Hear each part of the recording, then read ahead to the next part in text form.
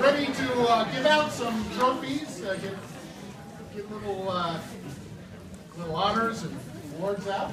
We're going to start with the countdown round, so you already know that.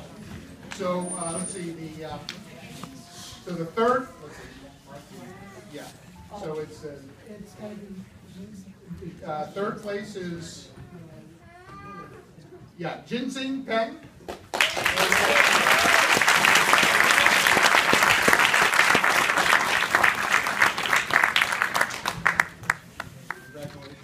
Uh, second place was uh, David Metrick.